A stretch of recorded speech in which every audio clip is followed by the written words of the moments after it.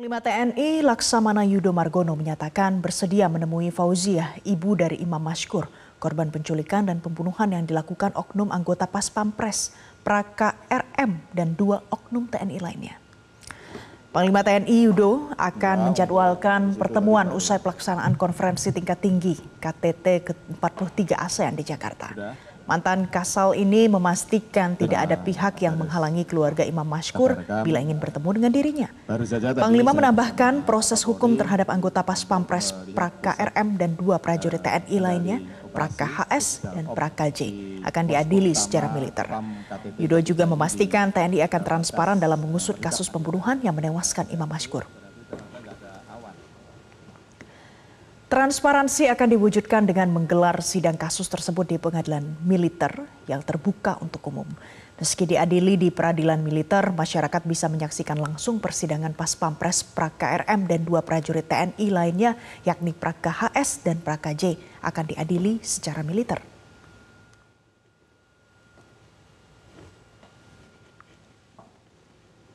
Ibu almarhum Imam Mashkur berharap kepada Panglima TNI untuk menetapkan pelaku dengan pasal 340 tentang pembunuhan berencana. Dan untuk mengetahui informasi terkini di sana kita sudah terhubung dengan rekan Muhammad dari Biren Aceh. Muhammad, selamat siang. Bagaimana kok informasi terkini dari rumah Imam Mashkur? Ya, siang, Paling. Memang saat ini saya sudah berada di rumah uh, Ibu almarhum Imam Mashkur di Desa Mankelayu, Kecamatan Gandapura, Kabupaten Birit Aceh. Memang tadi sempat uh, saya wawancarai dan tanya langsung beberapa hari lalu ibu dari almarhum uh, Imam Mashkur sudah pernah ke Jakarta untuk menemui Hotman Paris dan juga rencananya akan ber, uh, bertemu dengan Panglima TNI.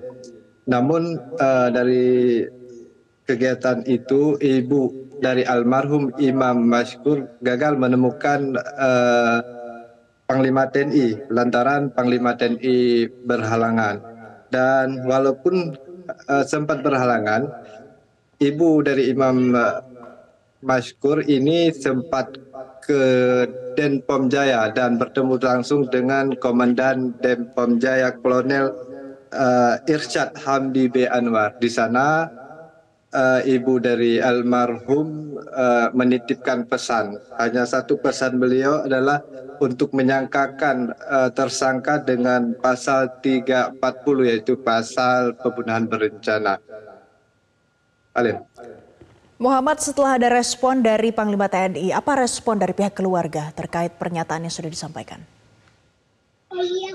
Mami, memang sejak kemarin uh, keluarga telah kembali dari Jakarta ke rumah, uh, dia masih berharap untuk bertemu kembali dengan Panglima TNI. Jika pun tidak bertemu, dia hanya berharap uh, janji dari Panglima TNI yaitu menyangkakan uh, tersangka dengan pasal 340 ini benar-benar diterapkan dan dari pihak keluarga juga berharap eh, sidang ini nanti akan di, dilakukan eh, secara terbuka walaupun memang persidangan militer gitu. Dia sangat berharap uh, bisa melihat dan masyarakat bisa memantau langsung uh, proses hukum ini. Dan satu lagi harapan dari uh, Ibu almarhum Imam Mashkur uh, bahwa tersangka ini dihukum seberat-beratnya apabila pun memungkinkan dia berharap tersangka dapat dihukum dengan hukuman mati. Balik. Muhammad, setelah ada kunjungan Komnas HAM ke sana, apa hasil kunjungan itu? Apa hasil investigasinya? Ya, paling tepat saya informasikan, memang Rabu kemarin Komnas HAM telah mengunjungi rumah uh, almarhum Imam Mashkur. Uh, pihak dari Komnas HAM uh, melakukan investigasi tentunya dengan cara mewawancarai uh, keluarga Imam Mashkur yaitu bapak Imam Mashkur juga adik dan kakaknya. Di sana mereka mengumpulkan data-data dan informasi terkait uh, uh, pembunuhan dan penculikan yang dilakukan oleh oknum pas pampres dan bersama uh, dua rekannya.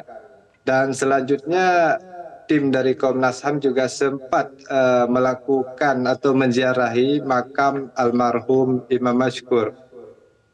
Kalian. Baik, terima kasih Muhammad untuk informasi Anda langsung dari Biren Aceh. Jelajahi cara baru mendapatkan informasi. Download Metro TV Extend sekarang.